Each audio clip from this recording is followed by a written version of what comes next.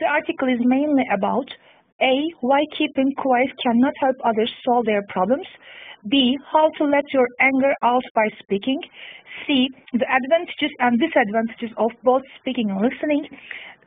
D. Why a good listener is always appreciated. E. The advantages of speaking. The answer is C.